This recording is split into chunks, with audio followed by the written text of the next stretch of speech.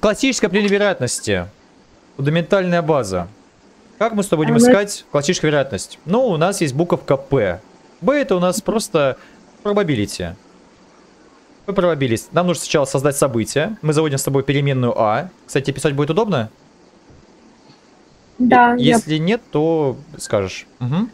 С- Создали переменную, назвали переменной А. Переменная А это событие. Это наступление события в некотором испытании. Да? И что это за отношение? Давай мы с тобой посмотрим, что за отношения.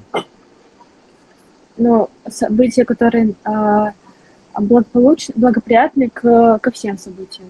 Мгм. Это у нас благоприятные ко всем. Мы берем сюда буковку А, кладем, правильно? Это же функция probability. Мгм. Согласны, да? P probability это функция. Положи сюда буковку А, где А это событие, M на N. Если что-то знаешь, ты говори, пиши. Вот, таким образом, у нас есть благоприятные на о, общее число всех исходов. Да? Они у нас равновозможны, благоприятные? Да, Что значит понятие равновозможные и равновероятные? так. Равновозможно это, а, в принципе, которые в жизни возможность их наступления одинаковая. А равновероятно это а, числовое значение. Неплохо ты сказала. Равновозможное это, если с точки зрения физического объекта, давай так раска... Ну, давай по- попробуем так поговорить. А, если с точки зрения физического объекта, физический объект должен иметь геометрически правильную форму и сбалансированный, да? Тогда события с этим объектом будут равновозможные. Правильно мы с тобой писали это поведение? Да. Хорошо. Далее. Теперь, соответственно, вероятность того говорит о том, что если у тебя вероятность 1 вторая при, при событии выпадения орла, то у тебя 1 вторая при со- событии выпадения решка, это значит равновероятны эти события, когда у нас вероятности равны. Далее. Февральские монетки. У нас может выпасть либо орел, либо решка. Ну, тогда давайте созда- создадим с собой со- событие. А, Назовем его, например, э, П. А. Орел. Что это такое? Благоприятные на все. На все исходы. Одна вторая, согласна? Да. А если пиратские монетки у нас получается, данное событие у нас образуют а, АО и, и не АО, что образует у нас? Не, АО это тоже одна вторая. Полную группу. А, пол- да, полгруппы. АО и не АО у нас образуют полную группу, обрати внимание. Да? Вот, при каждом у нас, э, допустим, событие АО бла- бла- благоприятствует у нас один исход, да? Тогда у нас аналогично в результате бро- броска кубика у нас есть n равно 6 элементарных равновозможных исходов равновозможных, которые образуют опять полную группу. Когда событию B5 благоприятствует один исход, да? Если мы с тобой возьмем кубик в руки. Берем Да. кубик в руки, берем кубик в руки и начинаем бросать его. Покажи, пожалуйста, мне а, вероятность того, что у тебя выпадет на кубике 5 очков. Одна ш- э, Ну напиши мне, покажи мне это, да. да, да, сейчас. Ты молодец, ты молодец, что это одна шестая, я не отрицаю. Как мы это напишем? На- с- с- на- с- туда положить переменную, это событие, да, у нас? Переменную у нас пишет латинской буковкой. А, Б, Б Б5. большая, да, Б, Б5. Совершенно верно. Мгм.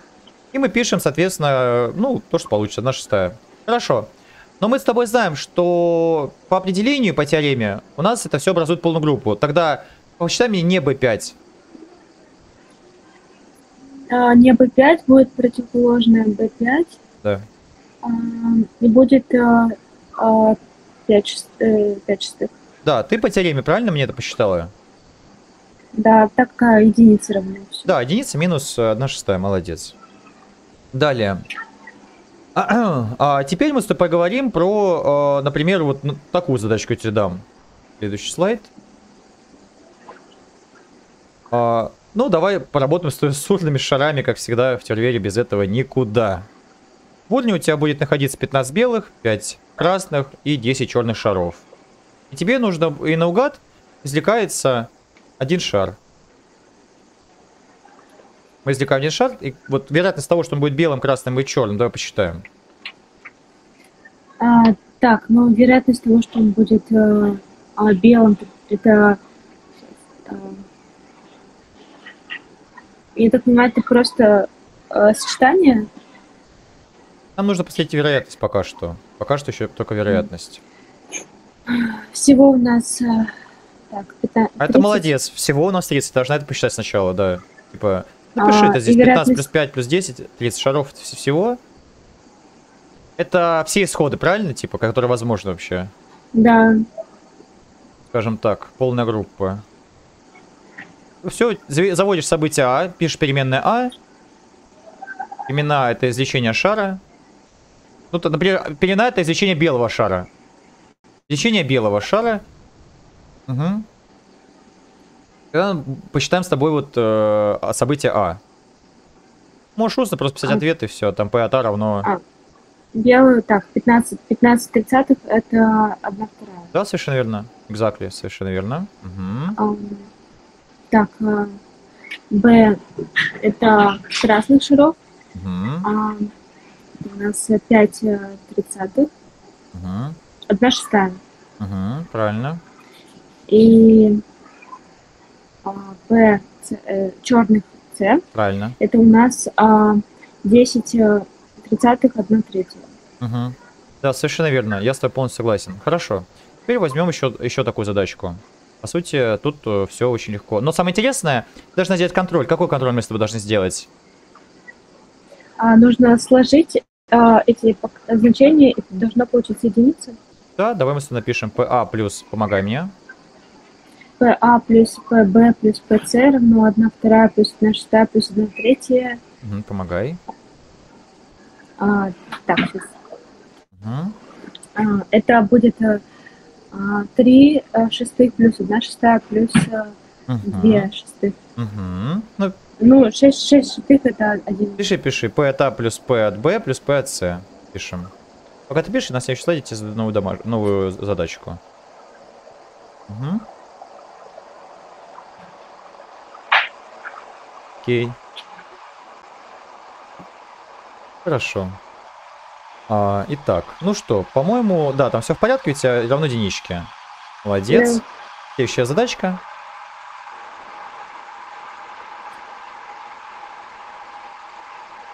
Классическая Так, те- э, теорема вероятности, она, по сути, очень такая легкая. Правда, тут будут задачи основаны на комбинаторике. А комбинаторика нам зачем нужна вообще в целом в классической теории вероятности, вот этой те- э, формулах?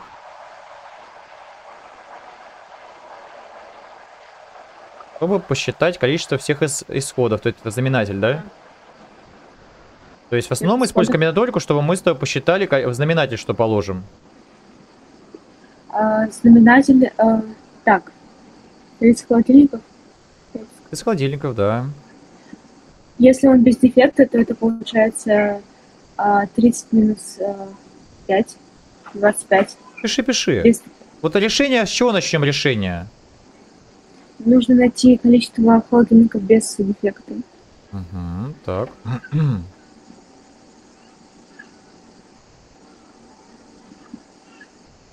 Это, я правильно понял, что сейчас у нас э, фундаментальная тема идет классическое определение вероятности? Да. А, и вероятность а, того, что он будет без дефекта, тогда равна а, 25 на 30. Мгм. Это, Да, я ну, согласен. это А, а 5 и да. на... Это правда, это правда, с 5 да. Молодец, умница. Теперь второй, еще одна задачка пошла быстрее. Угу. Принимаю, за- а, а, есть плюсик у тебя. Угу. Сейчас. Набираем... Не вижу. Вот, вот, вот, вот.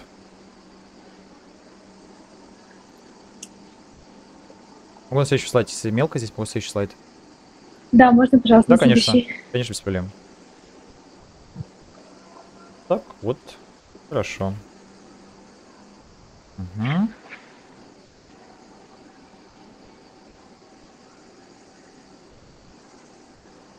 У нас номер телефона. Здесь, кстати, э, самое интересное, что нам нужно будет использовать иногда еще теорию чисел. Обратите внимание. Иногда.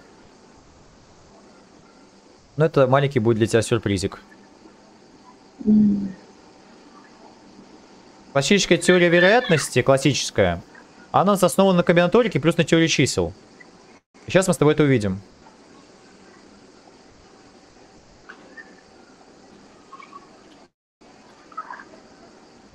Сейчас мы с тобой это увидим. Давай, давай, Так, давай, давай, я, я уже немножко Давай, давай, давай, давай. четное число. Мгм. 32, 33. Нужно э, вероятность... э, Так, Размышляй. Размышляем.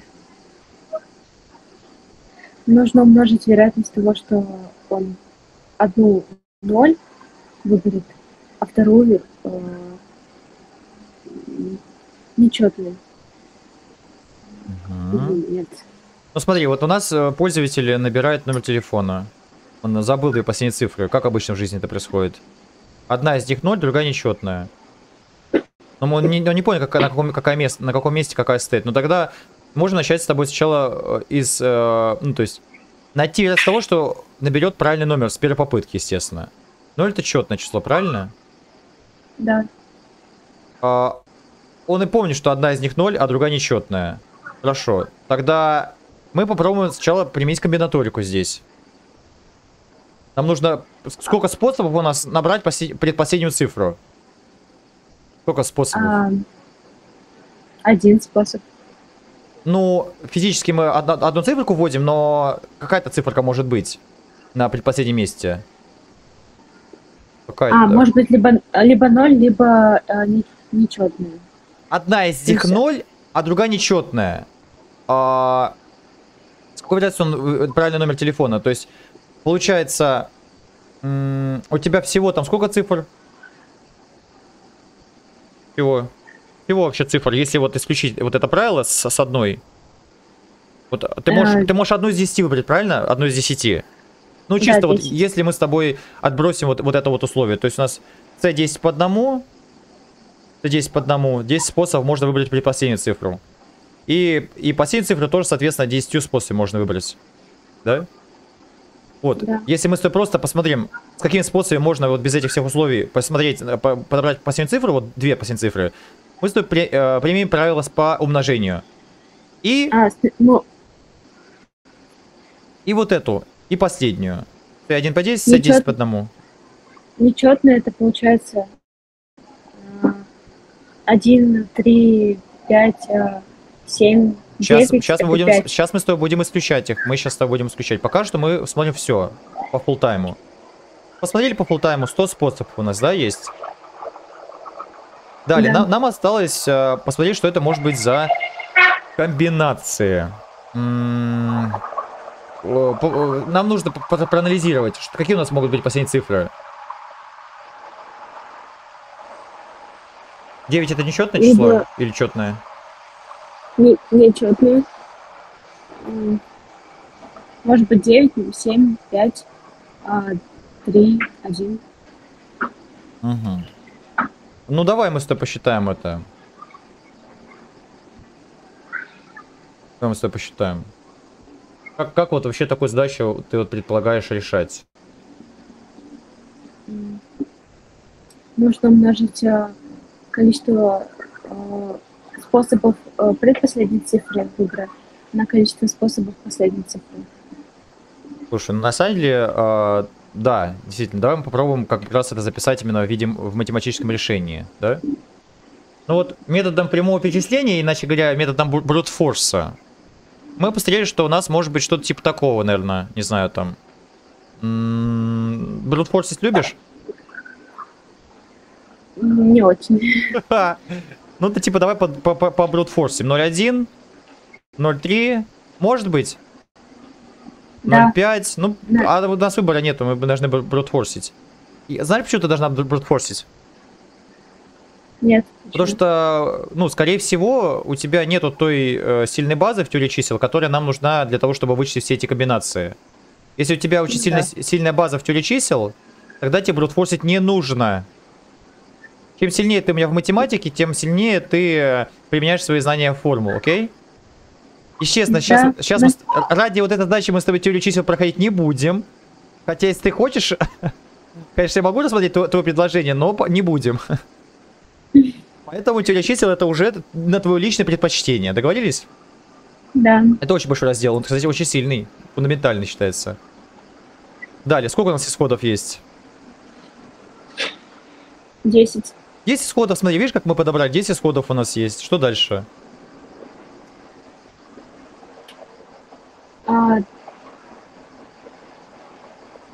нужно 10 исходов, это которые... а, Ну, пользователь сначала взял телефон в руки, набрал в конце 01, не попал, промах. Потом набрал 50 в конце номера телефона, опять промах, да? 70 попал. Какая у нас вероятность получается? Вот у тебя есть 10 вариантов, да, и пользователь, у него есть одна попытка, короче. Значит, один и десятых. Совершенно верно. Да, совершенно верно. Да-да. Совершенно верно. Ты не угадал, ты просто уже понимаешь тему, пиши. У тебя благоприятных один, то есть ты с одной попытки должна угадать, правильно? То есть, то есть, э, ну, то есть не только с одной попытки, у тебя один правильный номер телефона, типа. То есть у тебя один правильный, и у тебя всего 10 есть таких вот вариантов. Поэтому один благоприятный у нас только есть, который истинный, и 10 у нас всего. У нас P равно 1 десятая. И если мы представим это в десятичном виде, у нас получится вот, вот так вот. Почему я тебя прошу представить в десятичном виде? Потому что в классической теории вероятности нам не нужно представить... Мы же в классической теории вероятности работаем в дробях, правильно? Да. А в питоне мы работаем в чем? В каком виде в питоне будут цифры данные? Десятичных. Вот в таком виде будут в питоне данные. Поэтому мы должны привыкать с тобой к этому. Далее. Совершенно верно, ты правильно посчитала. Теперь а, давай поработаем с пин-кодом, если ты не против. Тоже нам нужна комбинаторика. Ну, то есть, в любом случае, я должен показать, что теоретическая комбинаторика используется в классической теории вероятности. Вот пин-код.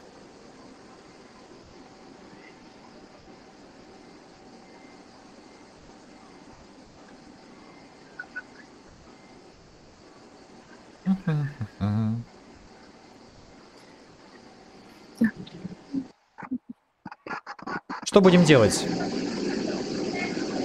Какие есть мысли?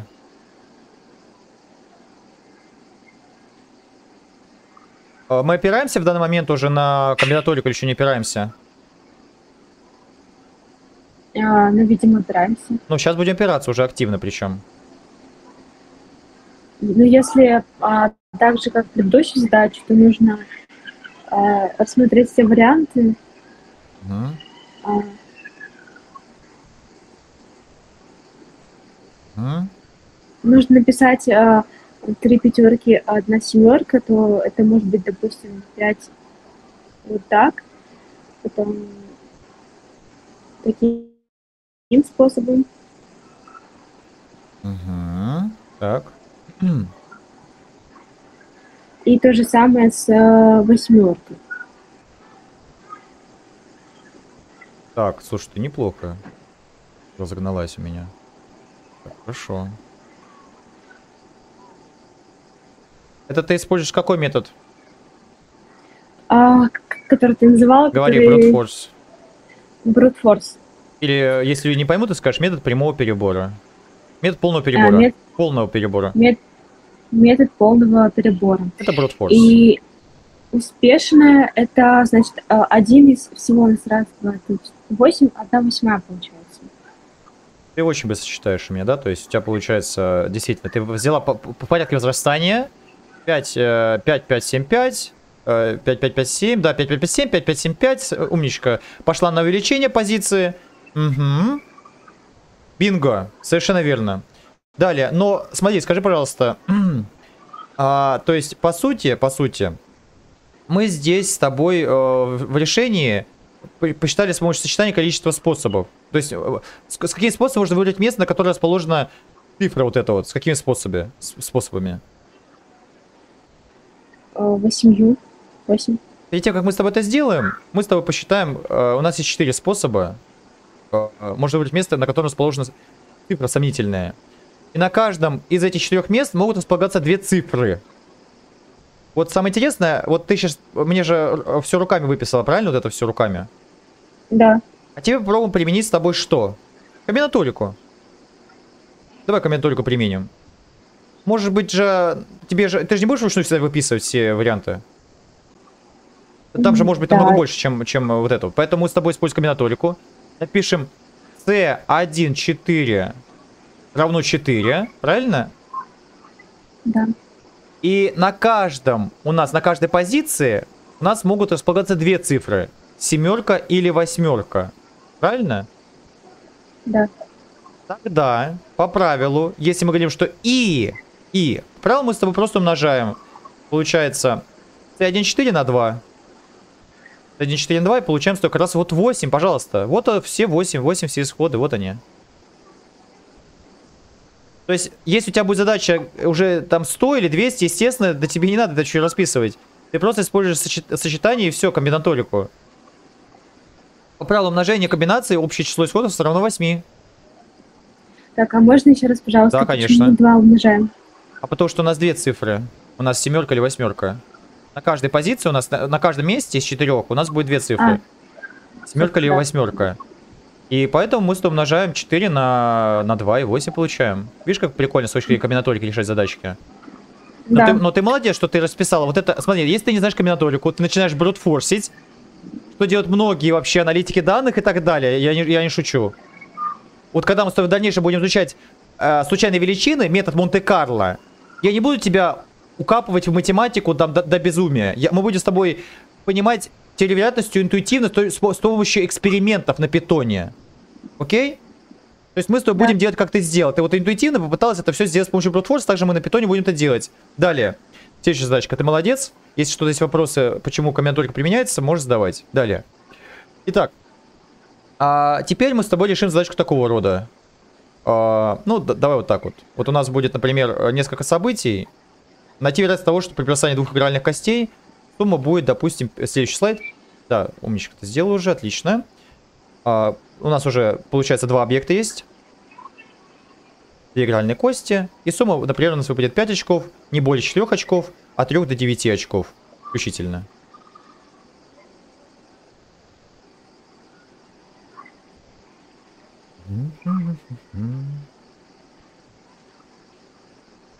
Как решать будем? Две игральные кости у нас есть. Здесь умножение должно использоваться. Здесь у нас должно использоваться комбинаторика. У нас два кубика есть, или что мы там бросаем с тобой? Две игральные кости. Давай с тобой комбинаторик сначала посчитаем вообще число, общее количество исходов всех. Два кубика. Какими способами может выпасть цифры вообще физически на двух кубиках? Вообще, в целом. Десятью способами. Нет. Ну, у нас а, э, на кубике у нас есть э, 6 очков всего, и ты, у тебя одна циферка может выпасть на одном кубике. А. И, 6, и на втором кубике может выпасть одна циферка из 6. Правильно понимаю? Да. Что это значит? Тогда я использую союз И. Я использую союз И. И по правилам умножения мы с тобой умножаем. Правильно? Да, получается 6 на 6, 36. Э, Пишем. 36 способов у нас может быть две цифры на, куб... на двух кубиках. Зачем мы с это посчитали? Это всего способов. Это нам поможет в классической вероятности, что ли? То есть это как раз знаменатель наш? Или что это? Да. Да, это знаменатель, молодец. А, комбинаторику мы используем для того, чтобы считать знаменатель. Хорошо. 5 очков, э, вероятность того, что в сумме выпадет 5 очков, э, равна 5 36. Ну давай, в качестве решения мы что сделаем? Воздушная комбинация у нас 36. 5 а, очков. А, ну, тогда нам нужно с тобой... Что значит, что значит 5 очков? Это типа 2 плюс 3. Или 3 плюс 2. Или в сумме у нас выпадет 5 очков и так далее. Ну, давай посчитаем это. Что там у нас по событию? Там, 3, это пара, это же пара. Какая пара? Пара вот такая. Ну, конечно, ты у меня молодец, да? А, помогай мне. 1, 4, 4, 1. Что это может быть еще? А, 2, 3, 3. Какой метод применяем опять? А, метод прямого перебора. Полного. Полного перебора. Или? Брутфорс. Да, брутфорс, молодец. Молодец. Просто говори брутфорс, и тебя все поймут, особенно хакеры. Далее, а, хорошо. Мы рассмотрели события вот этого Force. Далее, у нас есть 4 благоприятствующих, согласна? Да. Событие А, был у нас 4, 4, пожалуйста, исхода. Хорошо. Ну давай. Значит, 4 у нас благоприятствующих, всего у нас 36 с помощью комбинаторики мы с тобой посчитали. Что это значит? А, вероятность... Это красиво э, пишешь когда- буковку А, просто кайф. Если всего ч- э, 36, а благоприятных 4, то Да. а, вероятность равна 4 36. Да, или, 36 или, А, или, или. 1 девятая. Да, э, бинго. Быстренько следующее. Бэшка у нас идет. Событие Б. Не более, так, не более 4 очков, значит, это а, от 1 до 4 Э, включительно. Да. Уже по правде, знаешь, что делать в задачах на такую тему? Мы берем, называется матрица, матрица вероятности называется. Составляется матрица вероятности. Смотри сюда. 1-1. А, что тут у нас будет, получается? 2-1. Или что там у нас? 2-2. 2-2. 3-3. 3-3. Понимаешь, что я делаю, да? Да, Это называется матрица вероятности. 4-4. Или, по крайней мере, я так называю ее. 5-5, 6-6. И потом ты просто выбираешь то, что тебе нужно. Ты вы, выписываешь... э, У тебя же два объекта, вот два кубика. Вы, выписываешь пары, иначе говоря, кортежи выписываешь чисел. Вот. Вы, выписываешь матрицу. Вот, у тебя получается здесь 2, 1, ну и так далее. Здесь у тебя уже будет... э, последний, на последнем месте у тебя будет э, 6, 1. Правильно? Я здесь многоточие поставлю, чтобы, ну, у- у- у- нам ле- жи- облегчить жизнь. Здесь у нас уже будет 1,6. Вот. Хорошо. То есть, если что, ты можешь сама дома потом дописать матрицу, хорошо? да, Далее. Ну вот у тебя есть матрица. Вот, у нас первое это, это row, второе это column. Первая row, количество, ну, типа первая строка, первый, первый столбец. Вторая строка, второй столбец. Ку-ку-ку-ку. да, я. У нас матрица размером 6 на 6. Пер, пер- э, у нас э, у нас есть у, у нас А и тиджитый, А и тиджитый называется индексы. Где где иты у нас иты отвечает у нас за row, иты row, а джиты у нас колумн. Джит это колумн. Все понятно? Все написал. Вот у нас иты джиты, пожалуйста. Это иты у нас. Это джиты. Все понятно здесь. Вот у нас Да. иты джиты. Первый, первый всегда иты, второй всегда джиты. Все, умничка. Давай. На всякий случай проверю. Вот здесь вот, какой будет иты джиты? Вот здесь вот, что будет за число на этой позиции? 2, 3. Да, правильно. Правильно, все в порядке, ты все поняла. Далее. Продолжаем. Что мы делаем? Тебе нужна эта вообще матрица нам. Ну что просто брать с водоглазками и выписывать вот эти пары, которые нам нужны. Согласна? Вот берем пары, выписываем. Но по, по сути ты можешь и без матрицы жить спокойно. Но с матрицей поинтересней. Ну давай, что у нас получится? Не более, э, не более 4 очков. Какие нужны, значит? 1, 3, 3, 1. 1-1 нам подходит самая ми- минимальная позиция. Потом 1-2, следующая позиция нам подходит. Потом 2-1 подходит нам, правильно? Ну и так далее. Да. Давай мы с тобой сделаем. А, это у нас есть, теперь у нас событие Б, смотрим. Давай. 1-1, быстренько основной пары выписываем. 1, 1, 1, 1, 2, Растем, 2, растем. 1. Да, 2-1, потом позицию меняем, увеличим позицию. 1-3, А. дальше. Минимально. 1-3. пе- Да, 1-3, растем дальше. 3, 1. Да, 3-1, и еще расти. А, Первый повышаешь. Два- Да, да, да. 2, 2. Молодец, молодец. Первую повысила. Мгм. Молодец, супер. Хорошо. Сколько у нас? 6 благоприятствующих. Да, 6 36 Действуй, действуй. А, так. Ну, Нормально, нормально. Только там не хулигань. сейчас. Так. Б, э, Б, С есть. Ну и событие С, конечно, рассмотрим с тобой, конечно. Куда, куда без него. Но событие С, оно какое-то масштабное. Тебе не кажется? Что-то там от 3 до 9 очков включительно. Молодец. Э, правильно посчитал, одна шестая. Угу. От 3 до 9. Да, какое-то Так. событие мне не нравится. Тебе нравится оно? Мне не нравится. Как считаем, как считать будем событие С? Я И что? таким же, таким же способом. Или это Событие, С- будет? событие С. А, обратите внимание, что мы тобой какую-то теорему там знаем. Какую ты теорему у меня знаешь? Мы что только что с кубиком э, такое делали, А. прикол. Э, единицы. Да. э, сум- сумма всех событий полной группы равна Да, да, да, да. Теорема по сложению, да, у нас? И b, А. b не b равно единице, правильно? Да, тогда. Тогда что? а, Рассмотрим событие противоположное, не c. ну, можно B взять, допустим, Давай, и рассмотрим событие, допустим, у нас же событие c называется само по себе. То есть это b это просто пункт называется. Но событие мы назовем c. Я могу вместо буковки v пункт написать сенаторов. Но само событие у тебя называется c, окей? так, Ку-ку. да.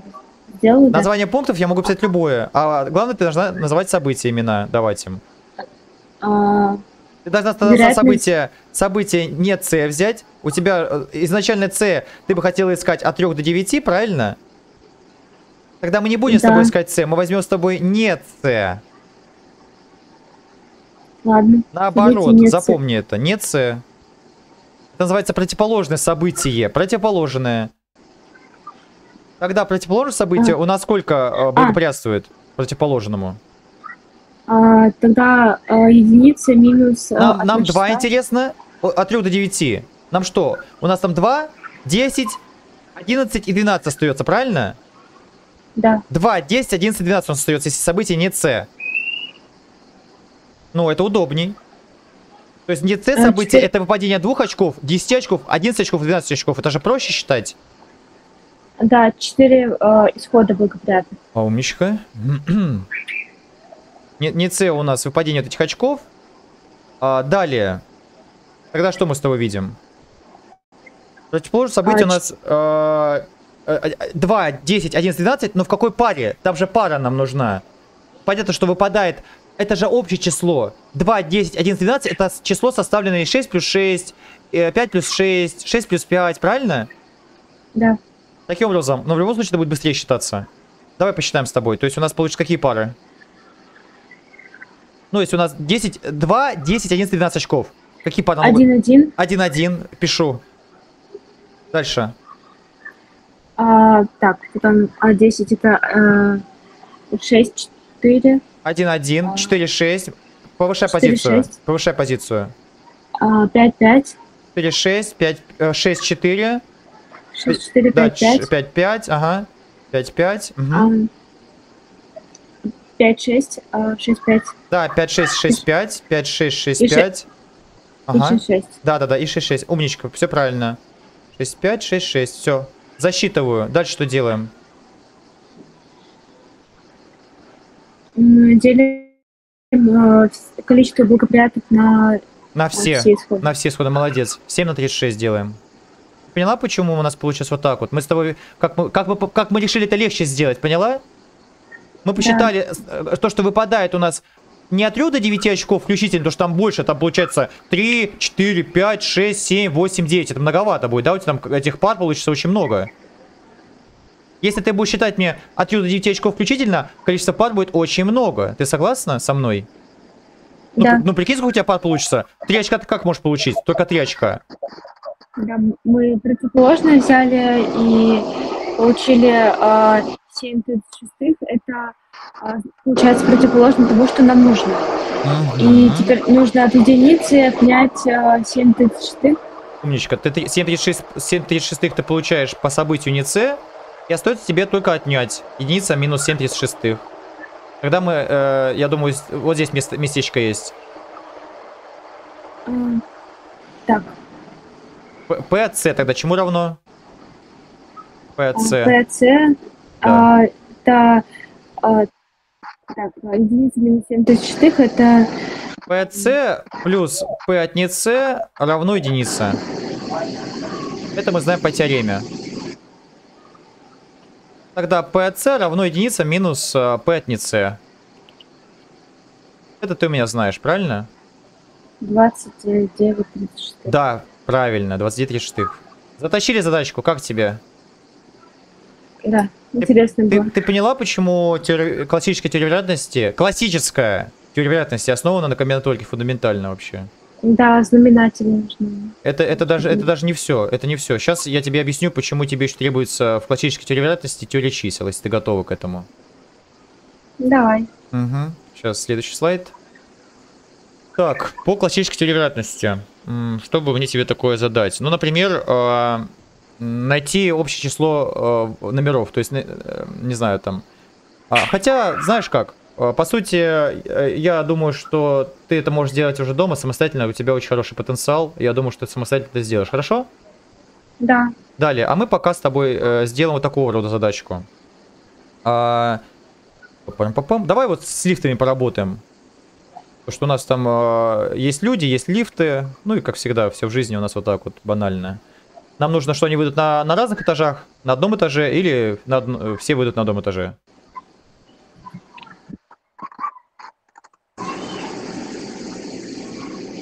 Как будем решать?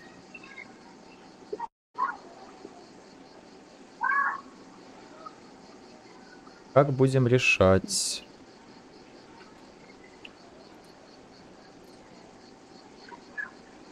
Сейчас. Всего...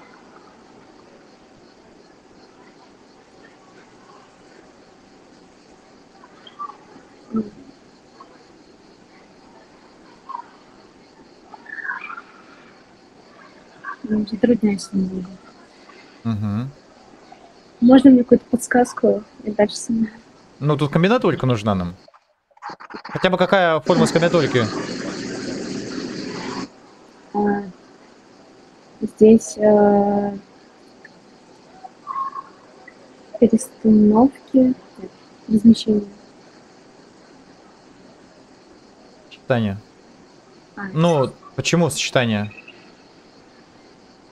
Почему я классифицировал это как сочетание? порядок э, не важен.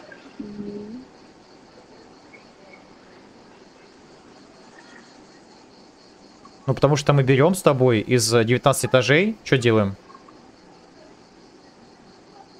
Выбираем, смотрим. а,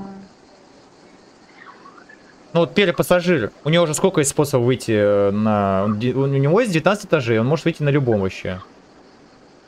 Значит, 19 а, м, вероятно, возможностей. Давай, давай, сочетание, включаемся в работу, включаемся в работу.